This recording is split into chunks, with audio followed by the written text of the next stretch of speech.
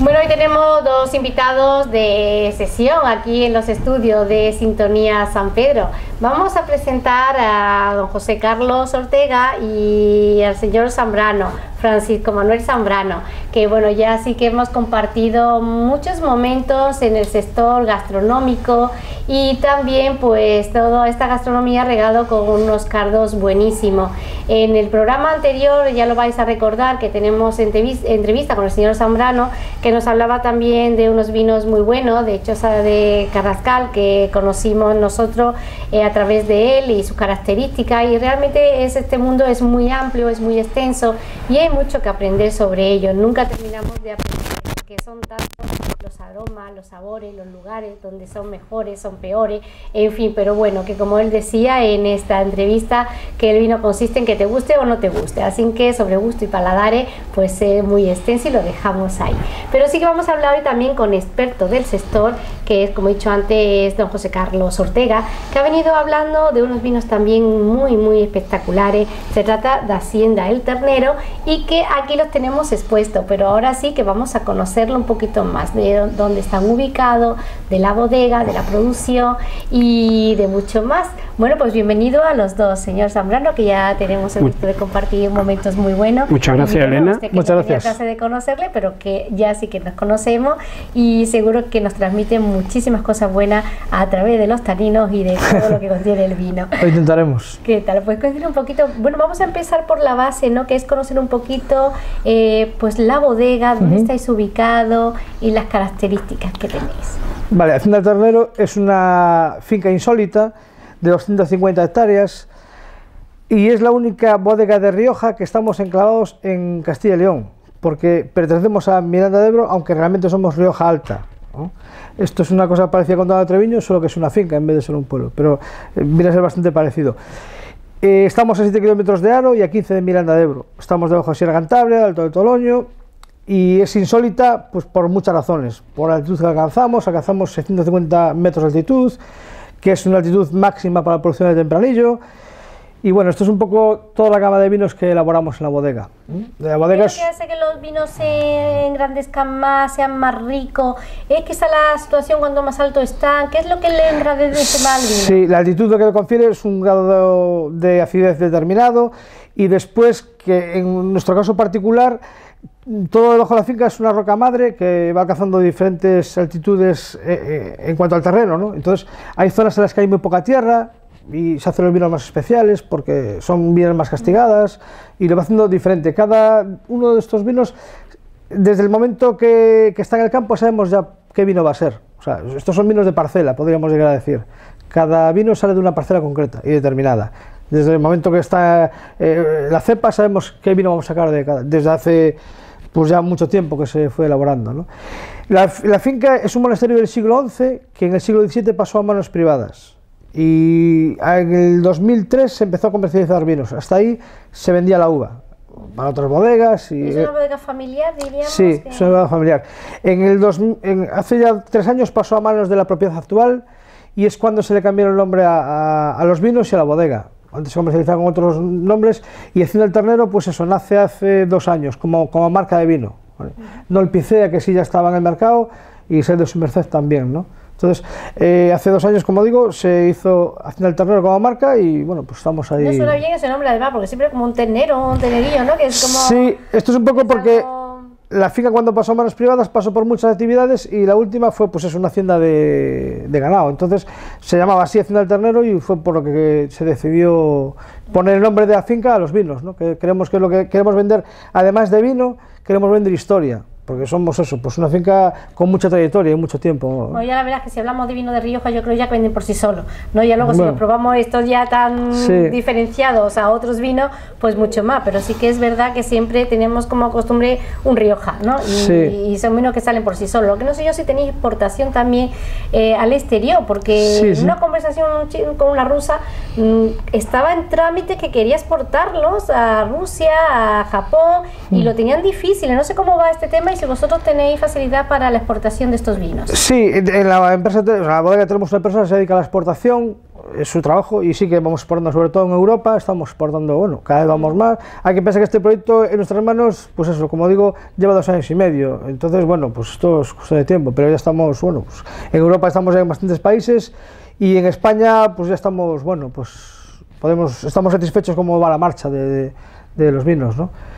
Y lo que hablamos antes de, perdón, de la singularidad es por eso, por la actitud que tenemos y por el tipo de terreno que tenemos, nos hacen los vinos singulares y particulares, que es lo que cada bodega debe buscar. Sobre todo nosotros tenemos una producción en torno a 200.000 botellas, entonces tenemos que usar la diferenciación, la personalidad de los vinos, que es lo que nos confiere hacer un vino diferente, ¿no? y es lo que buscamos. Bueno, ya que nos ha hecho aquí una exposición, no vamos a hacer una cata, que eso respecto mm. de Zambrano, que ya nos hará una, me imagino, en un futuro próximo, ya me dirá cuándo es la mejor época para hacerla, hablaremos con él. Pero primero ya sí, ya que, bueno, pues tenemos el placer de contar eh, con una persona pues preparada, ¿no? Para eso es el delegado comercial de España. Mm. ¿Qué le parece si hacemos, se nos habla un poquito de las características de cada uno, así un poquito resumido, de lo que nos de lo que tenemos aquí en la mesa? Correcto. Bueno, empezamos con un vino blanco, esto es un Viura 100%, que lo envejecemos en roble francés eh, cuatro meses. Solo utilizamos roble francés en la bodega, exclusivamente. Como digo, es un Viura 100%, cuatro meses en, roble francés nuevo. Luego sacamos la pera, que esto fue es nuestro último niño, que es le tenemos mucho cariño y tenemos expectativas eh, bonitas y interesantes con esto.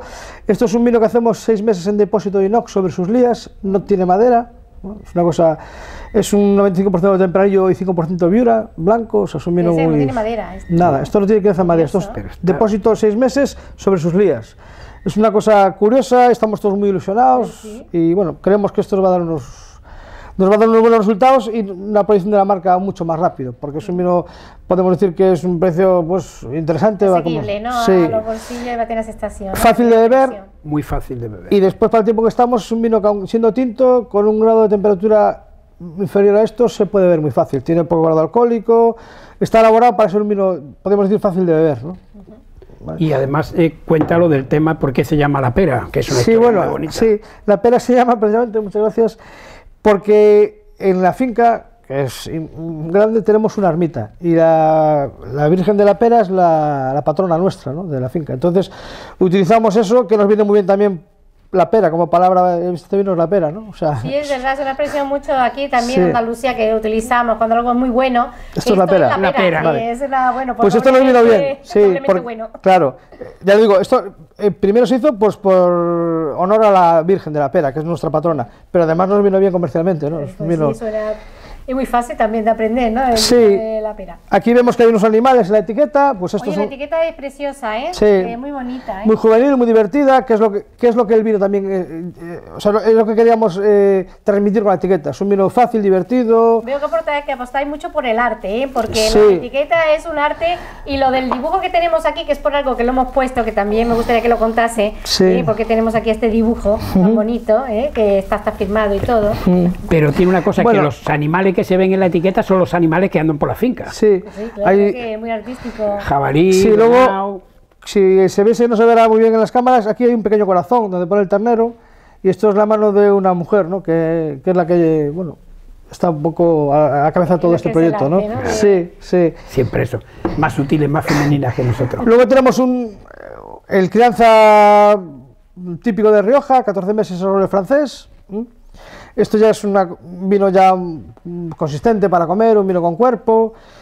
Y es, digamos que los crianzas, bueno, pues son los emblemas de las bodegas un poco, pero nosotros, bueno, a lo mejor eh, tenemos otras cosas que pueden que pueden darnos a lo mejor más proyección en el mercado, ¿no? Este es el crianza, digo, 14 meses en barrica, laborero francés, que es un Rioja, bueno, pues eso, crianza que todos conocemos los crianzas de Rioja. Luego hacemos un selección, que como antes os dije, cada vino de estos es de un pago, o sea, esto es una selección porque es una parcela muy determinada en la que hacemos este vino y la elaboración es un poco diferente a esto, o sea, es 20% de este vino se hace la maloláctica en roble francés, o sea, tiene otro tipo de elaboración y por eso le hace ser un vino, bueno, pues un escalón por encima, ¿no? No es que unos sean mejores que otros, simplemente que tienen, cada vino tiene un momento, ¿no? es buscando el momento. Esto es a lo mejor... Y me imagino que tenéis también el típico, también la botella que es también para coleccionistas, ¿no? De esto que nos gusta tener en casa, ¿no? En privacidad, en nuestra pequeña bodega, ¿no? Y cuando vienen los amigos, lucirnos, ¿no? Decir, mira, tengo este vino y tal, que también me gustaría que me hablaras de ello. Aquí vamos a esto, el sel de su merced. Podría ser un poco por la exclusividad. Esto es un gran vino y además de ser un gran vino eh, es exclusivo porque solo hacemos 570 Magnum cada año. Y eso sí que viene con la... Con el dibujo. Sí, con la... está aquí, mira, Justamente. Lo vemos en blanco y negro que vuestra todo... Justamente, en la bodega tenemos el original y cada año sacamos pues unas copias que acompañan a cada Magnum. Esta es la presentación y esto además de ser un gran vino, que cualquiera de estos es un gran vino, pero en su momento, esto es la exclusividad además, porque se hacen pocos y cada año hay los que hay. O sea que esto es... más. de lujo, esto y por eso lo hacemos solamente en Magnum. Luego tenemos la reserva y el Picea. que, está. que el Picea, Picea 650, 650 sobre la altitud, hablábamos antes de la altitud de la finca, y Picea es un árbol... ¿no? ¿Es como un pintapo quizás? Es parecido, es una cosa entre un pino y un abeto. Esto es originario de Quebec, pero esto se ve que los tiempos ya de los monjes lo trajeron para allí y, bueno, pues hay unos cuantos en la finca. Y entonces, bueno, pues eh, se le puso este nombre a este vino, un vino también muy especial. Esto está hecho de la finca más antigua de la bodega, y pues con muy poca producción, mucha concentración, es un vino con cierta complejidad, ya es un vino, pues lo que decía, todos son grandes vinos, pero cada uno tiene su momento, ¿no? Pues a lo mejor beberíamos esto y estaríamos encantados de la vida, de la pera, pero esto es una cosa para tomar con más calma, con un rato, ¿no? Última de la tarde. Esta cena romántica. Bien acompañado. Vale, que ya te enamoras del vino y... Hombre, los amigos. El maridaje perfecto para un buen vino es una buena compañía. Ese es el mejor maridaje. Y después ya empieza la comida, ¿no? Efectivamente. con una buena compañía, el maridaje es perfecto para cualquier vino. Y para estos pues especialmente, porque están hechos con mucho cariño. Bueno, vamos a hablar un poquito con el señor Zambrano, que aunque Hola, Elena. también hace sus intervenciones, porque estamos acostumbrados a hablar con la gente, a mostrarlo, a hacer las catas, que también es muy interesante. y bueno, pues no sé en qué momento, por ejemplo, para hacer una cata de estos vinos, ¿cuál sería la mejor época de hacer una cata?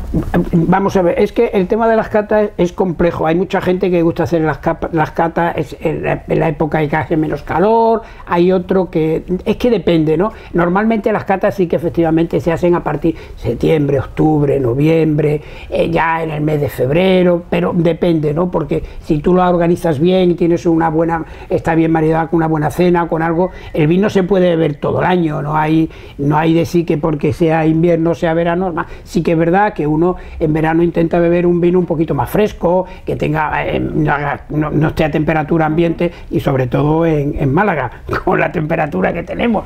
Lo que decía José Carlos, ¿verdad? Hay que darle un poco de frío porque un vino mm, que esté por encima de su, de su temperatura es imbebible. Pasa con los blancos que hay que tomarlo. Pero a mí yo lo del tema de las catas siempre me da igual hacerla eso. Ahora sí que es verdad que estoy intentando, vamos a, vamos a hacer una, vamos a preparar una de estas en Don Giovanni con ello que es un, buen cliente y vamos a hacer algo de... nos apuntamos, ¿eh? ya nos apunta la lista que nos encanta, ¿no? Y esperamos que también esté José Carlos también con nosotros. Lo intentaré. Y, que se deje ver Lo intentaré. Lleva dos semanas aquí liado de cata. anoche tuvimos otra, dijeron para, la semana pasada tuvimos otra, y la semana pasada, ayer otra. Entonces, pero, pero bien. y yo te digo que estoy muy ilusionado con esta bodega muy, muy ilusionado. Yo he probado todos los vinos y están espectaculares. Sí que es verdad, uno para una cosa, otro para otra. Este vino me encanta, todos yo que los he probado me parecen unos vinos espectaculares. ¿Tenéis mucha distribución aquí en la parte de la Costa del Sol? Acabamos de aterrizar. Sí. Acabamos de aterrizar ahora estoy viendo que tienes estación, ¿no? sí, sí, sí, La perspectiva es muy buena. De momento hemos estado con otro cliente que está muy interesado y, y sí, tenemos muchísima ilusión él se está haciendo muchos kilómetros, viene desde La Coruña, es gallego. verdad que Lleva el pobre 15 días fuera de casa. Estarás encantado de estar aquí en la Costa del Sol, ¿no? Que, este es un sitio para estar siempre. Ahora, bueno, además luego te siempre es agradable. Te daremos un paseíto por sitios así más emblemáticos. Y muchas gracias. Que te vayas también con buen sabor, igual que nosotros con mm. tus vinos, ¿eh?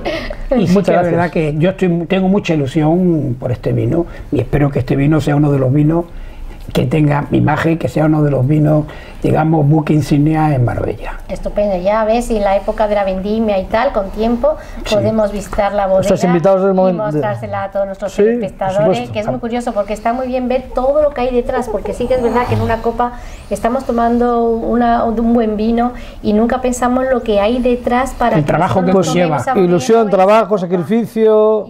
Pues, expectativas, hay muchas cosas dentro de la bodega. Muchas personas trabajando para que la uva sea perfecta y esté luego se envase con esos aromas y esos sabores tan finos como son estos vinos. Desde que se planta la vía hasta que se, se empieza a elaborar el vino, eso, y luego, pues eso, que la cocina sea buena, que la cocina sea tan buena, que llueva, no llueva, o sea, que son tantas cosas las es complicado. que sí, en la hora de tomarnos una copa de vino que es increíble. Así que realmente que yo pienso que los vinos realmente el precio nunca va a ser caro ¿eh? con todo lo que conlleva detrás de esto. Pero esto sí que hemos dicho que son asequibles, ¿eh? así que cuando veáis pues ya la hacienda sí, hombre, hay gama, hay la gama bueno más asequible, pues la otra gama que es un poco ya más alta. Pero bueno, en cualquier caso creemos que tiene una relación precio-calidad interesante. O sea, no... Muy, muy interesante. Pues le damos la enhorabuena a la familia de, de, esta hacienda El Ternero y por supuesto a las personas que los comercializan, que con vuestro transmitir, ¿no? Hacéis mucho, ¿no? Para que aprendamos también de pues ellos. Lo intentamos por lo menos.